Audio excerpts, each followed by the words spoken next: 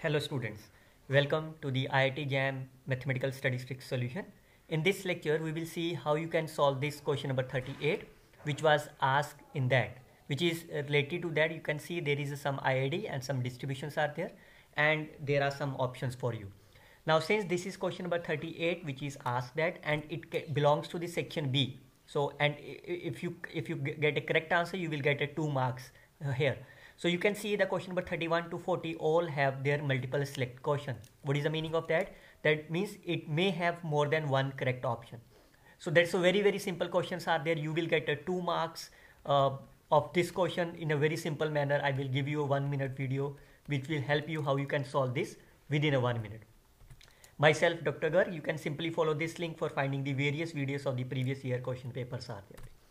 Now, what is the logic behind these questions are there? How you can solve such kind of the problems in your examinations are there?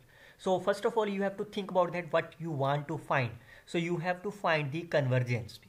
And since convergence is related to the normal distribution, that is n approaches infinity. Whenever there is a n approaches infinity, I already tell you so many times that we will work on the central limit theorem. So remember that we in this question we will work on the central limit theorem. What is the meaning of the central limit theorem is that is we our target is to convert into the z x minus mu by sigma. That's our target is that. Now if you look about this what is given to you this is the IID and our target is to find z corresponding to this that is Sn xn bar which are defined like here. Now how you can define that? How you can define this uh, central limit theorem for these options for you? So you can see what is that. So you have to find firstly the mean of this Sn. You have to find the variance of this Sn. Also for this Xn bar, you have to find the mean of this Xn bar, variance of this Xn bar. That's the basic targets are there. Now how you can find the mean of this? This is nothing but the mean of the xi's. xi's are given to you IID. So what is the meaning of the IIDs are there? That is the each of their means are same. So if you are able to find the mean of the x1, they are the same are there. Now how you can find the mean of these? The one way is that you can simply x into f of x. This is way you can do that 1 to infinity and after that you will get the required answer. But since this is MCQ so you have to instead of the calculation you have to remember the concept. Do you remember that which distribution is there? If you remember that which probability distribution is there that is exponential distribution and you remember that what is the mean of the exponential distribution is? 1 upon lambda. And what is the variance of this exponential distribution is? This is nothing but my 1 by lambda square. But remember that in the, in the exponential distribution your target is x is greater than 0 but here is half. So what is that? You have to add this scale quantity that is of here. That is the meaning of this uh, uh, that's the meaning of this. Or you can see there is no need of writing here. Whatever, the mean this is nothing but the mean of scale.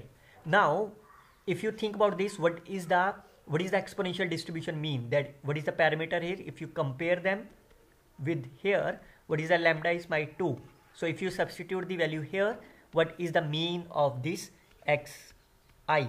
What is the mean of the xi is half plus half that is my 1 so once it is a 1, then what is the mean of the Sn? This has a mean 1, 1, 1, 1 and so on. That's a mean is 1 plus 1 plus and so on. What is the mean of this is n. Once you will get the mean as a 1, then the variance will be mean square. Nothing but my variance of this xi is also my 1. So what is the variance of this is uh, that is the variance of x1 plus variance of x2 again this is 1 plus 1 plus n.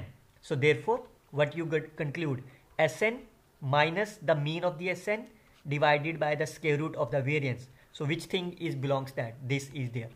So it means this will converges to the 0 having the finite variance. So this is the right answer. So this option is cancelled out. Same thing we can look about this. So our target is to find the mean of the xn bar.